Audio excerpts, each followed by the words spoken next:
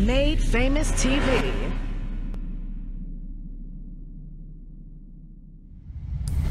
Yo, what up? This Made Famous TV. I'm checking in right now with the homeboy, the Dramaboy. We get this li- live interview going on real quick. Drum, tell me what you got going on, man.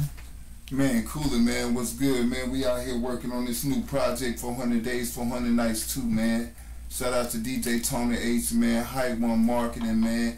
Shout out to goddamn Made Famous TV, man. We just pushing the brands, pushing the labels. Shout out to my youngin', man. Uh, Lil Real, man. 900 ENT, fo, you know. So we just really working and networking, man, and really pushing these young men in the right direction with this uh, music, man. And just trying to do things the right way and build a brand, big bro. Okay, all right. Let people know where we at right now. Right now, man, we in the studio, man. We at the beginning of Fortune 400, man.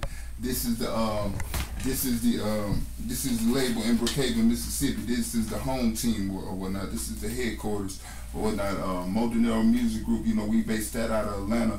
Fortune 400 is based out of Mississippi, Brookhaven, Mississippi.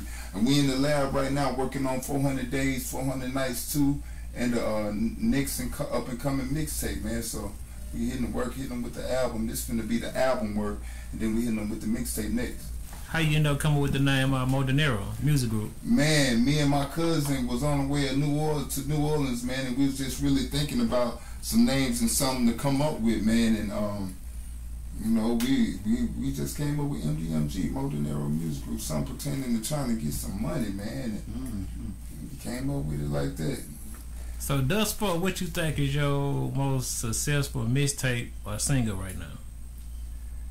Bro, I can't even say now one on right now, man, because I'm still building. This to the extent that when they catch on to that one single that everybody just, the streets just accept and they catch on to it, then I think they'll be able to check out the other music. You feel what I'm saying? Right now, I'm still up and coming. I feel like I ain't did shit yet. I'm still in the streets. I'm still in the trenches trying to grind it out and get to that um that level of success or whatnot with the music. But man, I'm I'm looking at every project could be that next one. So I'm just steady pushing it.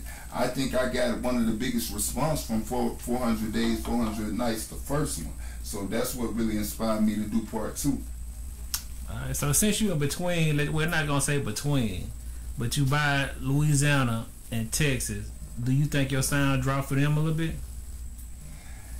Man, I heard a lot of people tell me that they um that they say I need to be over there in Texas networking a lot. They say I'm Okay. familiar with some of the Texas boys over there. My sound is, but uh, most definitely, man, I um I wanted to try something new with this project. I at least wanted one of those uh some of that Louisiana flavor on one of these beats, man. Some little bounce just to see how I could ride it. But uh, yeah, man. Do any of our Texas artists do it? Do any of them inspire you Yeah, with your man. sound? most definitely I um man I'm always inspired by the OGs to the shit like Scarface man and um fucking Scarface and them boys UGK and them man you know what I'm talking about? I can't really say the newest Texas rapper that I could say goddamn me I that really inspired me. You know I, I'm I'm I'm I'm still still with uh, Slim Thugger and goddamn Chameleon and Paul Wall and Michael Watts and them boys. I ain't really ain't no new artists coming out of just Texas. Really just done caught my eye. Sauce Walka, he alright, you know. But uh, you know we ain't just really had that much, you know, new up and coming artists coming out of Texas, which I think Mississippi and Texas need to link up and push their shit like the Atlanta be pushing their shit, man. We slick need to do that. True. I'm willing to work. It's damn so worth a try. You know? So the Mississippi music scene, what do you think about it? Man, Mississippi music scene, man, we slept on, man. There's a lot of talent in Mississippi. I just really think we slept on because a lot of people look at it as not a marketable state right now for us. we don't have as many opportunities as a lot of individuals, so we most definitely got to get out there and put that footwork in, you know, which any up and coming artist would have to. You would have to get out there in them streets and go to them outside cities and towns before you go to these just major cities.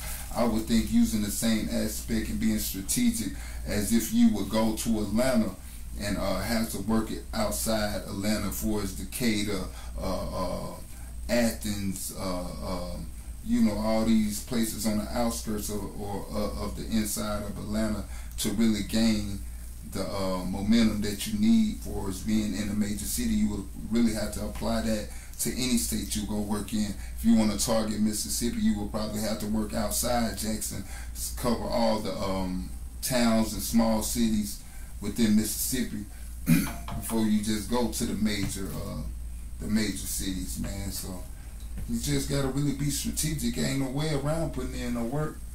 So do you feel that DJs have a part to maybe why the uh, Mississippi scene might be a little sluggish on helping underground artists?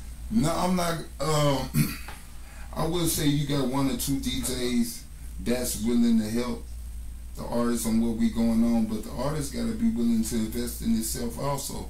You know, it take you guys. Without you guys, our records would not be heard. But here, you got to put out the footwork. What the fuck is? What's the point of um, pushing the record and the artist ain't pushing?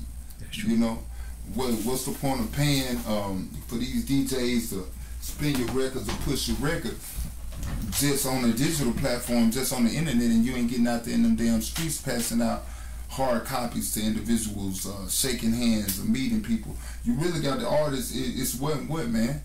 Because you know, what's the point of pushing the record and breaking the record if the people don't know you? You got to tap into the fans, man. It ain't no way around that shit. Okay. So let people know out there know where they, how they can find you on social media, whether it's Instagram, Snapchat, Yes, Twitter, man. Most whatever it may be. You can find me on any platform, any social media platform. On Facebook, it's the Dramaboy, T H A D R A M A B O Y. On Twitter, it's Dramaboy 400. Um, on in- Instagram, it's Dramaboy 400. Um, man, shit. If you, you most definitely, if you want to get in uh, contact with me or anything we got going on in our camp, you can get at most definitely DJ Tony H. You know, that's my DJ, man. Bro, gonna make sure, goddamn it, he points you in the right direction with whatever we need pertaining to hype one marketing, man. Building your brand, mixtape placements, man. I've been dealing with Big Bro going on now four years, man. And um, when I spend my money, I know my money is being done the righteous way. I know um, every time I invest in myself, Big Brother show me the facts, and the facts is there, and the numbers don't lie. And you know, he always open doors up for me. So most definitely, man, uh, you can reach out to me, man, through all those social media platforms. If you got any type of uh, work you want to work, man, any type of beat submissions or whatever, you can hit me up in my Gmail, dramaboy98 at gmail.com. Man, most definitely, let's link up, let's work, man. Uh, where can they find all your music at? Man, you can find my music on all social media platforms. Beyond the social media platforms, you can find it on iTunes, Google Play, Amazon, Spotify, Tidal, man, uh, Apple Music, any platform that everybody else um, music is on, man. You can find it for as um, mixtapes. You can go to my mixtape, live mixtapes, um, DatPiff, uh, top mixtapes, you know, Spinrilla, you know, wherever the music is, man, just type the Dramaboy in T H A D R A M A B O Y and you can find me, man. All right, man. We sure appreciate you for your time, man. Here at Made Famous TV, bro.